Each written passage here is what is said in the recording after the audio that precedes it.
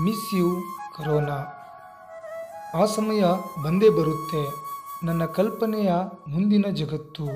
ದಯವಿಟ್ಟು ಇದನ್ನು ಕಲ್ಪನೆಯಾಗಿ ನೋಡಿ. ಸಾವಿರಾರು ವರ್ಷಗಳ ಕಾಲ ನಮಗಾಗಿ ಒಂದು ಸಣ್ಣ ವಿಶ್ರಾಂತಿ ತಗೊಳ್ಳದೆ ದುಡಿಯುತ್ತಿರುವ ಈ ಪ್ರಕೃತಿ ಈಗ ಸ್ವಲ್ಪ ವಿಶ್ರಾಂತಿ ಬೇಡುತ್ತಿದೆ.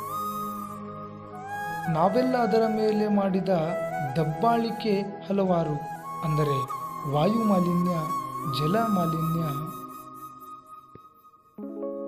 ಅನೇಕ ಬಾರಿ ಅದು ನಮಗೆ ಶಿಕ್ಷೆಯನ್ನು ಕೊಟ್ಟಿರಬಹುದು, ಆದರೆ ಈಗ ಅದು ನಮಗೆ ಕೇಳಿಕೊಳ್ಳುತ್ತಿದೆ. ನಾನು ಪ್ರಕೃತಿಯ ಎಲ್ಲ ಜೀವರಾಶಿಗಳಿಗಾಗಿ ಎಲ್ಲವನ್ನ ಶುದ್ಧೀಕರಿಸಿ ಮತ್ತೆ ನಿಮಗಾಗಿ ಬರುತ್ತೇನೆ. ಅದಕ್ಕೆ ಸ್ವಲ್ಪ ದಿನ ಮನೆಯಲ್ಲಿರಿ. ಹೊರಗೆ ಬಂದು ನಾವು ಅದರ ಕಾರ್ಯಕ್ಕೆ ತೊಂದರೆ ಕೊಡುವುದು ಬೇಡ. ನಾವು ಪ್ರಕೃತಿಗೆ ಮಾಡಿದ ಮೋಸಕ್ಕೆ ಅದು ನಮಗೆ ಕೊಟ್ಟ ಶಾಪನೋ ವರಾನೋ ಗೊತ್ತಿಲ್ಲ.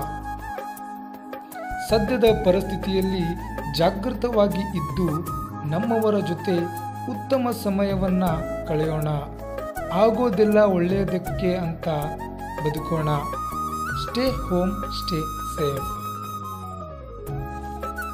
Corona ಮುಗಿಯುವುದನ್ನೇ ಕಾಯುತ್ತಿರುವ ನಾವೆಲ್ಲ ಮತ್ತೆ ಅದೇ ಬ್ಯುಸಿ ದಿನಗಳಿಗೆ ಬೆನ್ನು ಹತ್ತಿ ಅಲ್ಲಿಂದ ದುಡ್ಡು, ಮನೆ, ಆಸ್ತಿ ಗಳಿಕೆಗೆ ನಮ್ಮ ಎಲ್ಲ ಸಮಯವನ್ನು ಕೊಡುತ್ತೇವೆ.